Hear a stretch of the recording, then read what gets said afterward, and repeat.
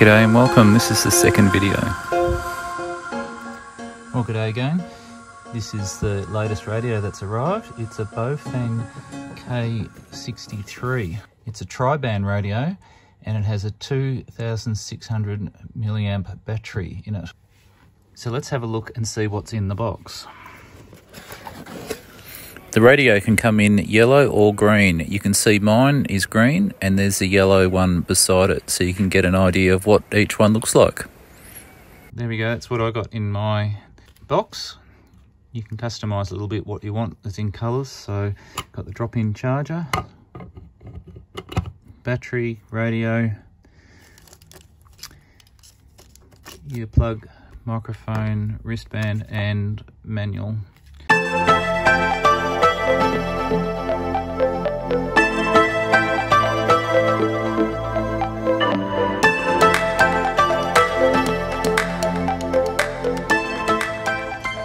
Seen what's in the box, let's have a look at the actual radio and the manual. So the manual is a typical Baofeng manual. Uh, it's got all the instructions in it that you'd need and is 34 pages long. It's got a QR code on the back too that you can use to scan for more help. So the radio will transmit between 144 megahertz and 148 as well as 420 and 450. However, it's slightly different if you're in the if you get the Canadian version. So looking down the left side of the radio, we have the PTT button here. Uh, they call the SK1 programmable button here. By default, it does the torch and alarm. And this is SK2 programmable key as well. By default, it does the radio and monitor. On the top we've got where you plug in your antenna, uh, the dial here. It's got a good stopper here too so it can't be bumped easily. And then uh, LED in the middle there.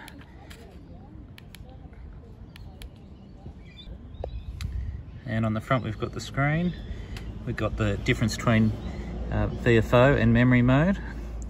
I can press this button here and it'll jump between VFO A and VFO B. This button here is the sweep key. And then you've got the normal buttons down here as per most Baofeng radios. So looking at the screen now, see here it says at the top here DW. That's because dual watch is enabled. Here we've got the channel mode here, memory channel there. So when I hit the up arrow, 14. It says channel 14. 15. 16. And I can switch to the top channels there. 18. I'll switch to VFO mode. Frequency mode. We're in frequency mode there. And I can go up and down by frequencies like that with the up and down arrows. So a couple of normal things. This button here, press and hold, will lock the radio. Lock. And you can see the padlock is displayed there. Press and hold it again. Unlock. And it's unlocked and you press this star Z to start scanning. Scanning begin. And you can see it's scanning, and it's scanning because we're in VFO mode. Whereas if I did it scanning stop. in memory mode, mode, it'll now scan the memories. Scanning begin. Up the top here is a status LED. So when you're transmitting, it goes red, like that. When you're receiving, it'll go green. So you can see here we're on dual watch DW. If I press and hold the AB button, it's now in single mode. So I can still jump between A and B by lightly pressing it, but I'll only receive one. The other one I won't receive at all, even if the first one isn't receiving. If I press and hold it again, I'm now entirely on single mode. A lot of people find this simpler because clearly that's a frequency or memory channel you're receiving and transmitting on. I press it again and hold it in, I go back to dual watch. So here you can see I'm in memory mode. If I change that to VFO mode, I can now type in a frequency that I may want to go to. So let's type in 4380000. Now I'm on that frequency, just as simple as that. You can see I'm PTTing there. Haven't got the antenna plugged in, but I'm still able to PTT. So here you can see I've got A on VFO and B on memory mode. So what's the difference? Well, VFO mode, I can type in a frequency like that. I can put on tone squelch and everything I want to do. You can see I'm on high power. Once I'm happy with that, I can save that in a memory like this one here, channel 16, is in a memory. And then all the settings that I've just done is saved in that channel and then it's set up. So usually you type everything in or program it via a computer and then save it to the memory channel. So most likely you'll be in memory mode most of the time. So in memory mode you can go up and down channels like that and you can still edit them. See this one's got DCS on it. This is just how the radio arrived. I haven't programmed any of these. All of them on high high power. Then I can press and hold the Z key and it should start scanning those memories. As I haven't got the antenna plugged in, I'm probably not going to pick up much. So as I said before, there's two buttons on here, number one and two. If I press number one lightly, it'll go into FM mode.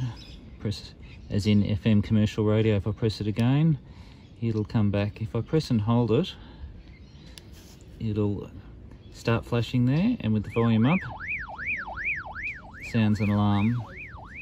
Press and hold it again and it turns it off. Similar with the second button here, I can press it, turns the light on. If I press and hold it, you get the open squelch so you can hear maybe a distant station.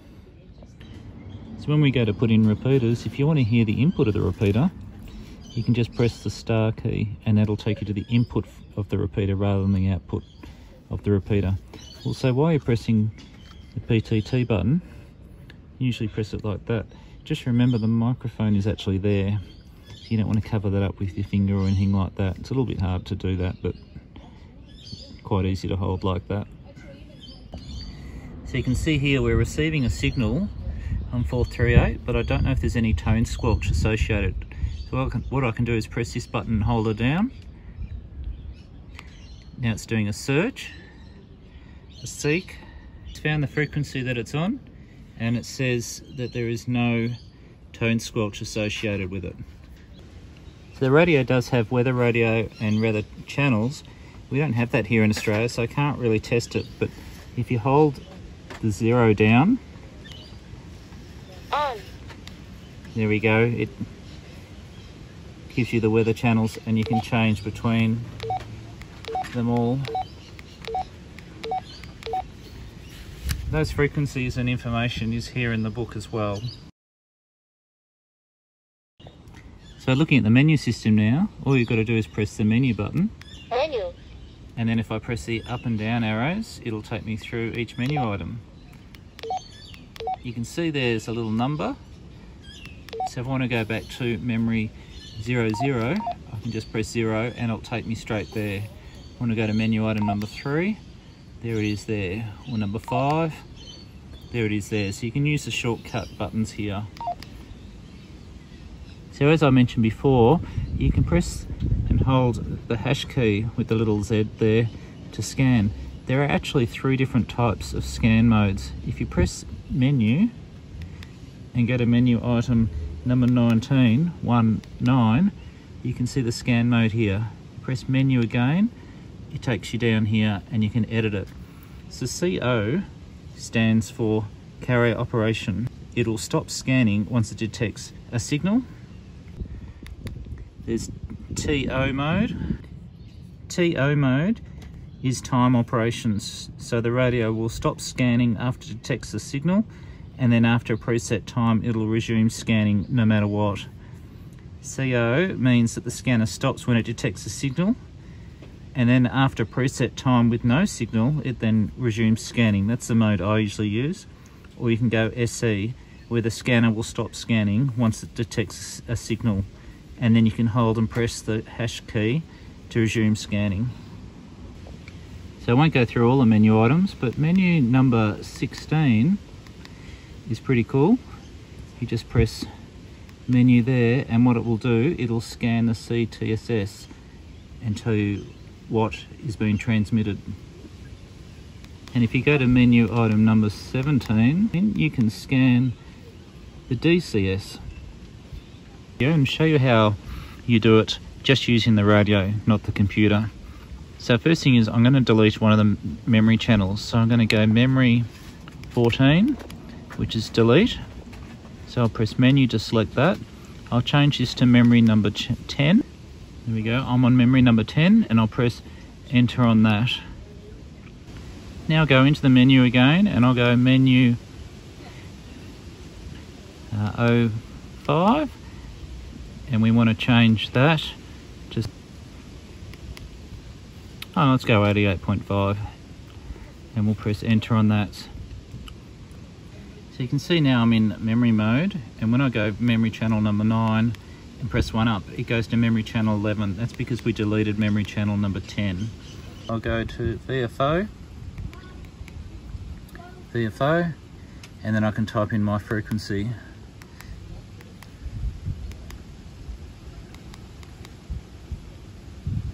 there we are we've got the frequency in there now. So there's our frequency there in VFO mode. We want to save that now. So I'll press memory. I'm going to go to memory option 13 which is the memory channel there. I'll press enter. I could type in or I can just scroll up to memory channel number 10 and then press memory on that one and there we go it should be saved. There's it is in memory number 10 so we've got memory number 11 10 now and 9. And there it is there with the right tone squelch that we set earlier. Memory number 12 is a good one too. That's where you set your offset when you're programming repeaters. Shift direction, whether you plus or minus. That's where you whether you're high or low power. Bandwidth, you can choose whether you're wide or narrow.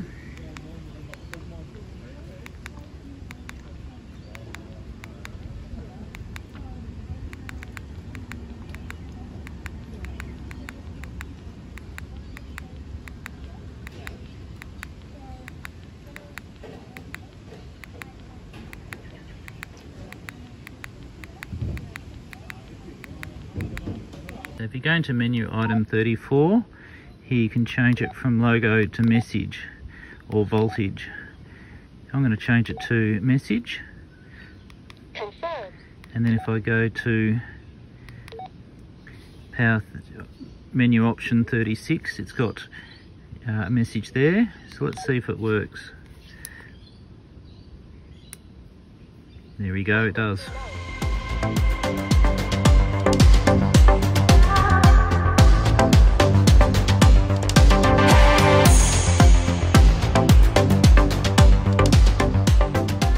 So I'm going to do a test now on the radio. So what I'm going to do is I'm going to go to a um, frequency four, four seven, seven, zero, zero, zero. So I'm going to go to that frequency there, which is actually a CB frequency here in Australia. And I'm going to talk to my daughter because we're out in the bush here. There's not much around. So, hello, hello. Can you hear me? How well can you hear me? Yep, you're coming through great. Oh, you're sounding very clear too. Do I sound clear? Yep. There we go. Daughter of many words. Very clear. I'm happy with that. Don't forget to purchase the radio at the colour that you like. Remember, they come in two different colours. Don't forget, in the description of this video, there is actually a discount link. So if you're keen to buy one, have a look at the discount link. This is my second video on this radio. So if you haven't seen the first one, make sure you look at that. And I do hope to do a third video when I get home because at the moment I'm away. And then I'll test it through some meters and things and see how it goes there. Don't forget to look at our website. There's heaps more radio information there. Please like and subscribe and thanks for watching. Hope to talk to you on the air one day soon.